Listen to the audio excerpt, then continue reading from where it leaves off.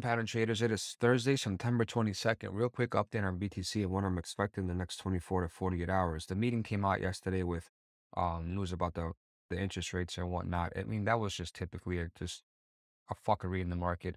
O- overall, I do expect us to go relatively higher, roughly between 20,600 and 21Ks for the time being from the low end.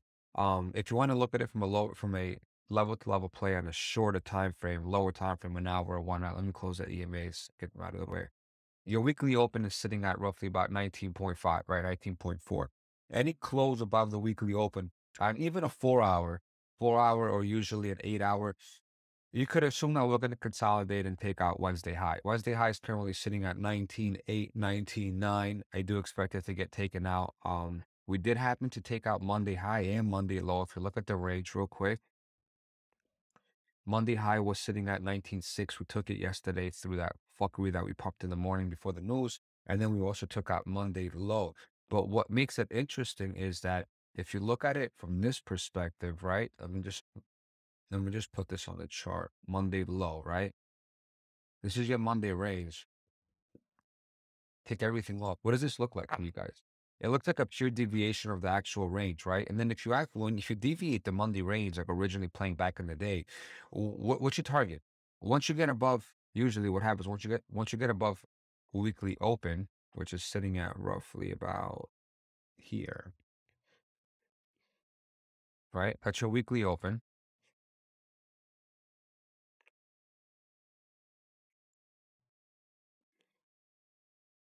You usually teleport straight up. And when you break out of this range, look at all these highs that have not been tapped, that have not been taken, that have not been tapped, just sitting here, right? So there's more liquidity to the top side than there is on the, on the downside. I think that we're going to end up pumping. Um, whatever we do in the next, like maybe 24 hours or whatnot, will result in a pump over the weekend needless to say, even if we don't pump over the weekend overall from a from a structural perspective, I understand it looks bad. I'm for it. I'm kind I'm long right now at the moment. Um, I got into I, I've been holding AXS. I didn't get stopped out. I had a I had a stop loss at the main low, and or is it? I'll show you right now. AXS. So I had a stop loss at the main low, and I didn't get stopped out for whatever miracle. So I'm in the position right now done. And I'm holding uh, solo. So look how this looks, right? Even if you on a weekly time frame, look how this looks. So I'm not trying to front run an SFP bottom. I'm not. I wouldn't do that, especially in a downtrending market. But I'm trying to voice that if you're not leverage trading and you're actually spot DCA you have spot DCA type of method going on right now.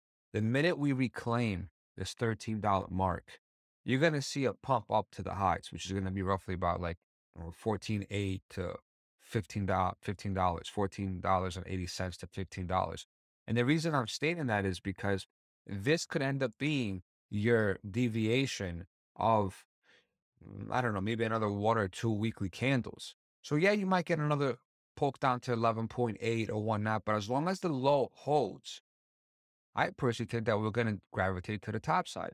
Once you create a, once you create this type of behavior, I'm not telling you that AXS is going to pump like mad. I'm just talking about price action. Once you create this type of like flag, you break down. If you look at it from a different angle, a different time frame, right? Look at this from a different time frame. You created a pump. I mean, uh, sorry, you created a flag. You broke down. You consolidated, and now you deviate in that consolidation. Just take a second and just pay attention to what I'm telling you right now. Logically speaking, forget about the market conditions because I understand they're very bearish. I'm not going to argue that. I'm not. I'm not going to tell you to to long anything that in this type of market unless you know how to how to have proper risk management.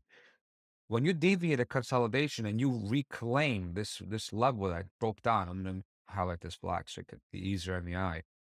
You know for a fact that once you get above this, your first target is going to be the $15 mark, right? You're going to go over here. And then over here afterwards, if you do a lower high, God bless. If you do a lower low, then you're fucked, right? So you have to be reactive, not trying to project where we're going to go. As long as you know that your first line of resistance is $13 And then afterwards, it's going to be the $15 mark. I'll even highlight it black so you guys can see it. So that's exactly how I'm playing this AXS. Now, in the event that we get do happen to dump back down over here, I'm wrong. I'm gonna get stopped out. It's okay. It's spot. I don't care. I'm not leveraging it, right? Go back to BTC. Actually, let me show you Sol as well. So, so overall, it's disgusting. I know for a fact that we're gonna go down here. Maybe not now, even not in a month, but most definitely within the next two quarters, we're going to be going down here. Well, more likely than not, we're going to end up coming all the way down here to 10 to $15. So if you look at the three day, this is the consolidation. When you have this of consolidation and an impulse and then a break back down with lows like this, that means that there's a lot of liquidity over here. So regardless of where we go here or here, it's going to come right back down here. All right. So just, I'm just playing, I'm just playing like the, the, I'm not, I'm not that I'm playing the rates, but I'm trying to play a small little like 50, 60% bounce on these stupid shitcoins. Overall for Sol though, if you look at it from a time frame perspective, go to a daily. I'm not even looking at oscillators yet, right? That's a whole different ballgame because oscillators look like pure shit and everything.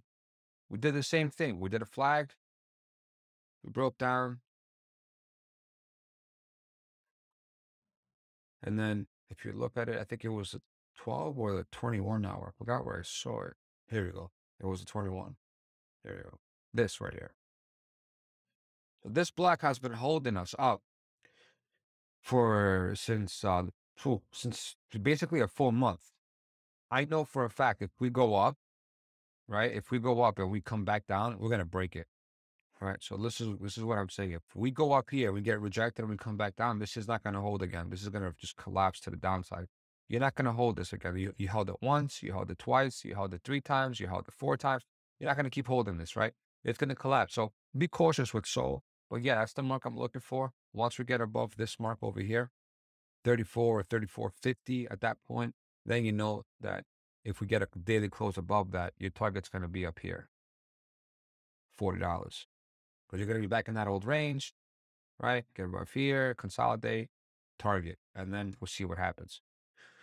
It's hard to play the one hour and the two hour with all this nonsense going on. There's a lot of chop going on, right? A lot. It's hard. Even for me, it's difficult. Uh, for Ethereum, you do the one-to-one extension, right? Because you have a high, you have a broken structure, right? You could take it from here, you can take it from anywhere you want. Structure got broken, period. You made a low. You could take it from here, it doesn't matter. Take it from here. Actually, this, this structure got broken on, this side, but more likely than not, this is your main structure point right here, right? You broke structure. So this is your pivot. This is your high high. This is your break. And this is your lower high. So take your pivot. One, two, three. Where's your one-to-one extension? 12.52. That's why we got a reaction here. Where's your golden pocket? $1,000, which is basically this low and this low, right? Makes sense? Very, it makes sense to me. So I'd be very cautious in this market, guys. Things are not looking good. Um, I, I, I am in Sol and AXS long, and I don't care for them. I'm gonna leave them. They're pretty good. They're pretty decent size. When you see your MSTX like this curling to the downside, the way you are over here, be very careful. Nothing good comes out of it. Overall, market should go down. I've said this before. I say it again. Anybody who's uh, in denial about how bearish or how bullish we look or whatever the case is, we are very, very ugly. Very ugly. When you see a gray, the gray line like this curl to the downside, you got to run. When you see it PTT red like this, you got to run. Look what happened last time. I'm not saying we're going to have this magnitude, no shot, but you have to be careful. The RSX hasn't crossed above mid in probably since when? We crossed under this December of 21. December of 21, almost a year. We got the first retest, second retest. We can't get above the midpoint. And again, the weekly time frame is a time frame for you to create some kind of indication we're in an uptrend. You need the weekly time frame if you're downtrending like this hard, because you broke structure on the weekly time frame. So when you break structure on the weekly time frame, no matter what you do, you're fucked, right? You're fucked. So any move down to a thousand, I'm gonna buy. I don't care what anyone tells me. I'm gonna buy this bull box. Um, yeah, I'm to buy this blue box regardless of what anyone tells me. And I'm to put my stop loss and my invalidation under the main low, which is probably 800 or something. Yeah, 891. And we'll see what happens. But this consolidation should give us some kind of reaction over here. Some kind of reaction. The, the, the most important thing that you got to understand is that we don't really have any, any, any real support on higher time frame. Right? If you look at the left side, it looks disgusting. Nowhere am I telling you that we're going to go down here, right? When I'm not saying that, but if you look at it from a really higher time frame, it doesn't look good. It does not look good, and especially if the economy goes into like some kind of spiral effect to the downside, it's going to be kind of ugly. So be very cautious. This all to me looks like a bearish retest. ETH did it. BTC did it for some weird reason. Like if you were if you were given a million dollars to short this, would you short this? I would. I would. Even if you go on the weekly, look at the way it looks. Hold on. This is your weekly order block, right? Let's put it over here. It's your weekly order block. You got your you had your first bounce, break up, come down, retest, lower high. Break under, bearish retest, and now you're going back down. In the event that this breaks, this whole thing's in a waterfall. It's going to collapse. Any VWAPs anywhere near us? Let's see. We have. Wow. This would be an interesting move to the downside. Very interesting move to the downside.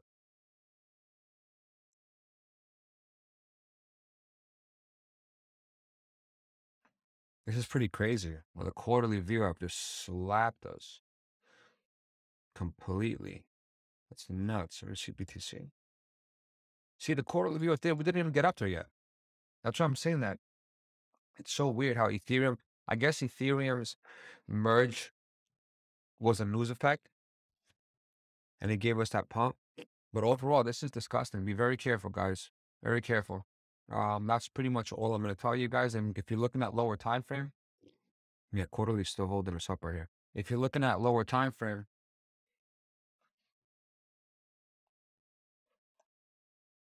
let me close all this. Are you playing level to level? five hour. Very Open up your five hour. Look at the order block. And just tell yourself if we get above this line over here, target will be this block over here. This is your over under. Okay. And Ethereum, the same thing. Go to your 12 hour. I said yesterday too in the Discord, we're going for that 12 hour block. We tapped it beautifully. It's too much for me. Hold on. So we tapped it beautifully over here. As long as we stay under this pivot over here, unfortunately, if we can't get above this, we're going to go one notch lower to 11s. If we get above this, your target is going to be sixteen, seventeen hundred dollars. Pretty evident, right? Um, uh, that. Let me see POC's on in there. Let me see. Sol. Yeah, you know about Sol already. It's pretty evident between 36 and $40. No one's in algo. I mean, that's pretty much it, guys. Just trade safe. I'll make another video over the weekend and talk to you guys about um lower time frame. Overall, though, man, this market looks so bad. Look at this market. This looks so bad. You have a weekly order block on Sol. Even BTC has it now. Look at that. You have a, a, weekly order block on BTC here, another one over here, and we literally have no support until pretty much down here, which is like that 12, 13K range. So I'm hoping that the EMAs could hold us right here. This EMAs could actually give us some kind of support.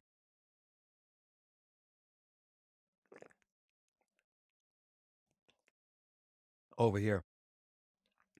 So even if we go back up, or we come back down, we don't lose this. The two week candle, the two week candle, I wanted to close above 17.5 in three days. Any dump we get, I want the I want the two week candle to close above this this 200 EMA. It's a 200 EMA in the two week.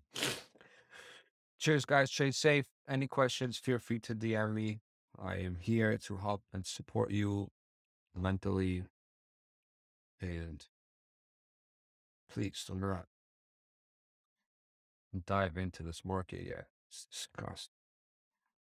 We can't even get above the two day TMA band. This is terrible, man. I wake up every single morning because it's morning now. It's eight thirty in the morning. I wake up every single morning there. I look at my TMA bands and we just look so bad. Everything is still pointing to the downside. It's like, when are we gonna catch a break? If you look at if you look at two thousand and where is where's this big dumb? Look at this right here. Look at this. We had so many retests, so many pumps. And then that's when we really collapsed. We had nothing. Nothing. Just mm-hmm. one big downtrend. So bad. Which makes me think that which makes me think that this could potentially be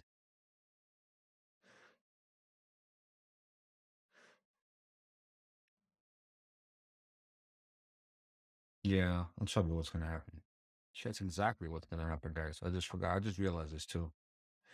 I saw this before, but I just remembered right now. Yeah, this is gonna be some kind of freaking bear trap deviation. Down, touch this, and just go straight up to freaking twenty eight, twenty nine thousand dollars, and then that's gonna be our BTC bearish retest.